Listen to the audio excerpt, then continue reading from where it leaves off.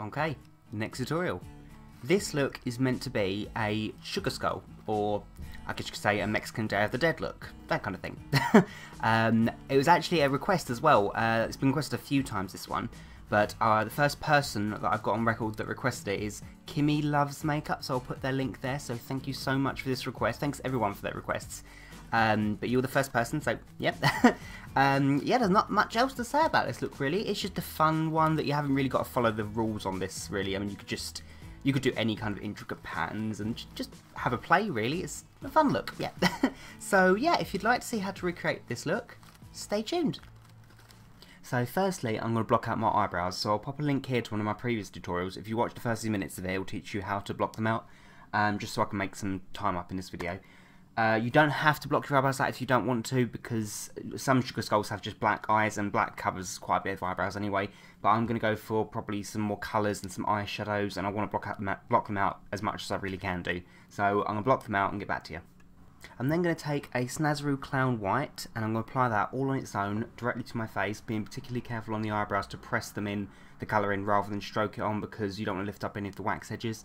Um, I'm going to apply it with a foundation brush uh, but don't try and do, do it too neat. I mean, you can get it neat with a foundation brush if you're really careful, but my best way of, I found of doing it is apply it directly with a, a, foundation brush and then buff it in with a kabuki brush afterwards, just as it's starting to set. That way it blends really nicely, gets rid of all the patchiness, and there's no streak marks. It's just the best way that I found. So I'm going to do that, and we'll go from there.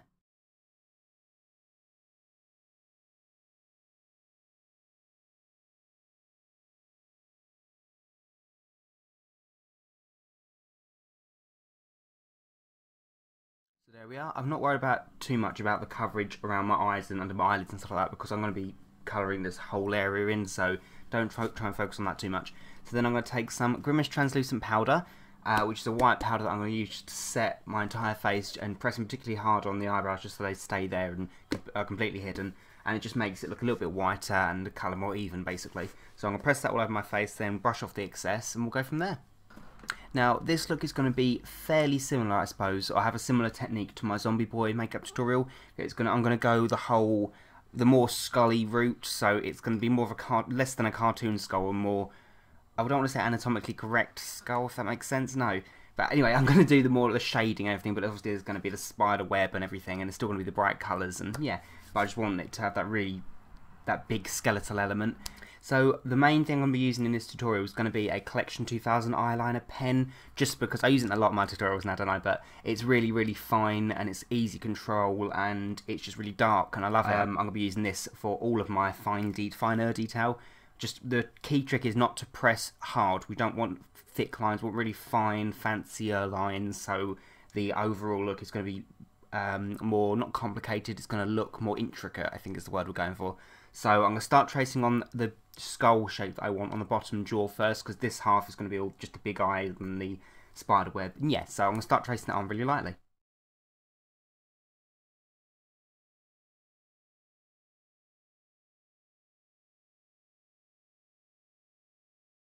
Okay, so we should start having this kind of a shape. So, yeah, just following the cheekbone basically and then tapering off towards the centre of the mouth. So then I'm just going to carry on with my pen. I'm just going to colour in this area here, here and here, just the hollows of the face. So there we are. Don't worry about the patchiness of the black, so I'm going to go over that again um, in a little bit with some black cream just to darken it up a bit. So then I'm going to carry on drawing with, with my pen. I'm going to do the mouth now. So I want the mouth to join on to these parts here which would be the hollows of the cheeks, and I'm just going to draw a straight line curving ever so slightly up, so it's going to dip, then go up. Not not like it's smiling, just you'll see. It's better than just having a straight line going across the face, just ever so slightly curved up. So then I can do the eyes, and now the eyes are going to be, I'm going to maybe, I don't know if I'm going to do a skull shape under here, but they need to be quite rounded towards the top. Maybe ever so slightly going up higher here and lower here, but we'll see. So I'm just going to start tracing that on.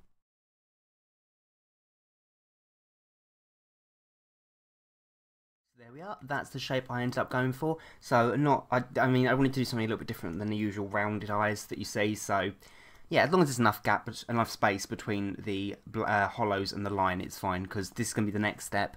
Um, also, probably one of the most trickiest. this is going to be where I'm going to draw the loops around the eyes that most of these looks seem to have uh, when you colour them in afterwards. So they're going to be really, really evenly evenly joined up, sized um, loops that have to be symmetrical as well. So good luck. That's why I'm going to use my really fine eyeliner pen.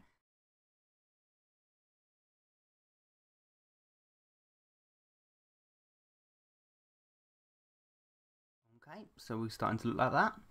Then I can draw on the classic spider web that starts, the middle point is just about there, or there maybe, and it splays outwards. So, to get my Spider-Man on.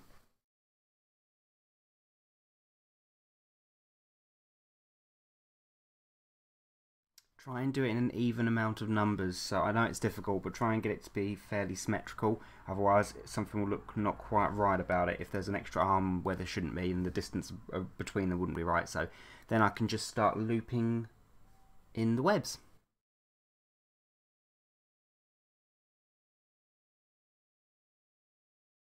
So don't worry about it being too particularly neat for now because we're going to go in it with some um, black creams, as I said before, and uh, shade it up a little bit. So it's not going to be perfect at this stage. And then I can do the nose. Let's see. So I'm going to still do the two points, I think. I was going to do the one like an upside down, um, the club, I think it is. But no, I'm going to do two because it looks more like a nose. So, okay.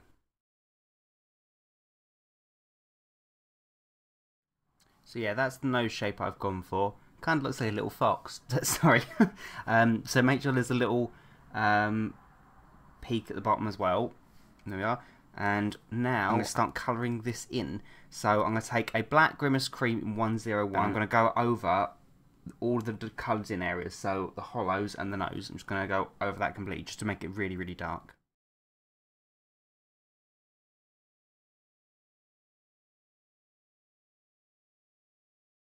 There we are.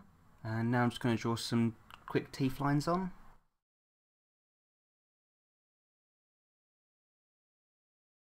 Okay, so now I'm going to start on the eyes. Um, so what I'm going to do is I'm going to use red, green and black I think is going to be my theme because I've got black, a black wig and red roses in there and I want there to be another colour so I thought green would be probably be the best one just because like flowers and that. So yeah, so what I'm going to do is I'm going to colour my eyelid black and I'm going to fade it out to from green and then to red because I'm going to colour these little dots in red as well. So the colours I'm going to be using are Barry M Dazzle Dusts. I'm going to be using their numbers 22, 73 and 834. So basically red, green and a black with a hint of green in that's sparkly basically. it has to have some kind of sparkle, doesn't it?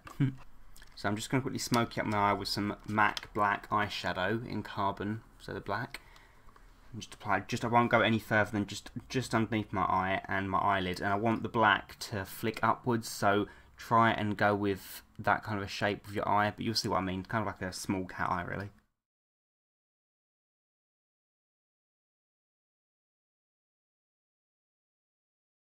to take some MAC black fluid line in Blacktrack and I'm just going to line the fluid line of my eye and just do an ever uh, go ever so slightly underneath the lashes and I'm going to do a quick wing on top as well. Not going out too far just a really slight flick at the edge just to really give the shape that I want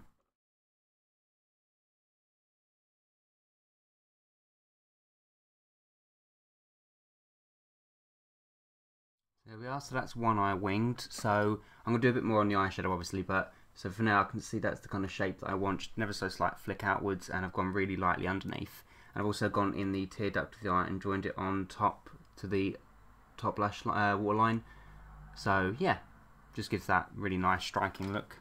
okay, so now I'm going to do the other eye. There we are. So when that's finished, uh, when I've finished applying the red and the green, I'll apply some of the black Barry M, uh, the glitter, just to set it and yeah, it'll just make it that bit that bit darker. So now I'm going to take the 834 Barry M Dazzle Dust, which is the really, really nice dark green that's got some glitter to it some shine. So I'm just going to literally smoky that outwards, not to the end, not to the end, but all the way in well out, outwards basically. so here we go.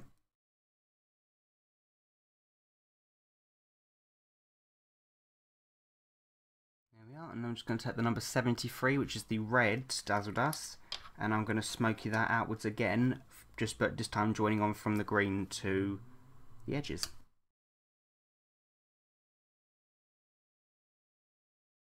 Then I can take the number 22, which is, as I said, the black glitter that's got a hint of yellow to it, and I can press that over my eyes. Make sure when you're using Barry M dazzle dust that you press rather than stroke because it'll you'll get loads of fallout and you don't want that, especially after we've applied clown white. I can start working on the shading, so I'm going to take the black cream and I'm not going to use much of it at all. The idea is to, I'm going to go over, so I'm going to start with the spider web and then do the same on here. And like, the idea is it needs to be shaded all the way to the centre and these need to be shaded outwards. So I'm going to apply the cream to one line, then take a clean brush and just sweep the cream outwards so it starts tapering off, but you'll see what I mean.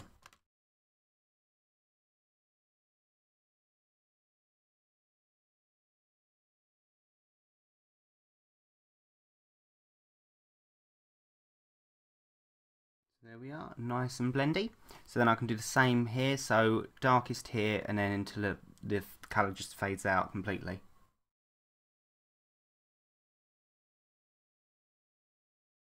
So with the teeth, I need to draw a tiny little line, like a little upside down arrow, like an upside down triangle at the base of every tooth. And then I just, I'll probably use the end of the brush actually, and then I just blend that outwards so it tapers off. And then just gonna uh, take a tiny, tiny bit of the colour, the black, and just pull each tooth up as high, just quite high until the colour tapers off.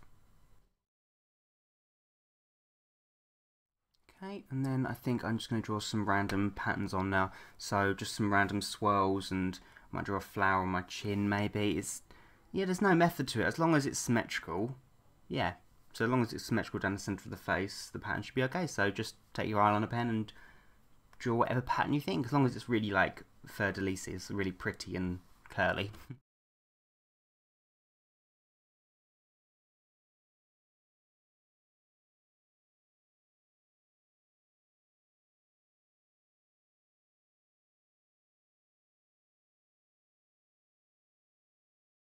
There we are, so I've done these little squiggles and some dots. So yeah, as long as they're symmetrical, or as symmetrical as you can get them. Um, and I've also drawn these three leaves on here that I'm going to colour in now in the same way that I did the eyes. So I'm going to use um, the green, I think, the Barry M green to cover all of this. And then I'll tip the middles with the red. Yeah. Use a Grimace Cream in 501, a bright red. I'm just going to use that to quickly colour in all of these lines. Going to glue this oval shaped red diamond just in the centre there. And I'll glue that with some spirit gum. It's just a regular plastic diamond. You can get it at most craft shops and stuff to be honest, like beads. I'm just going to let that go tacky for a second and I can just press that right in the centre where I want it. I'm also going to apply some tiny diamonds, one in each um, web, if as it were, so going to be like four on each row. And the ones I'm going to be using are really, really, really tiny nail art diamonds because I thought they look really cute. So I'm going to apply those with a nail art, um, well, I guess it's called diamond tweezers, you can call them, um, just because they're really, really delicately. And I'm going to use some spirit gum, so I'm going to dip them in spirit gum and then apply them. You shouldn't see them too much. I mean, the idea is they're just going to catch the light and hopefully they'll just shine. It'll look really pretty. There we are, so I don't know if you can see that, but it just ever so slightly catches the light. It's a lot more prominent in, in reality, but I know, I think it looks pretty. so now I'm going to apply some lashes. And my only way is Essex lashes, and whoop, there we are. So like a quite a they're quite thick, maybe medium thickness, I guess you could say. And I'm just going to apply those. I'm just going to apply some uh, Maybelline Colossal Volume Express mascara just to the top and bottom lashes now. And then I'm just going to put some uh, uh, Barry M Black number 37 lipstick. Only a tiny, tiny bit on my top and bottom lip. Just a, not less than half the lip shape. I'm just going to smoke it out.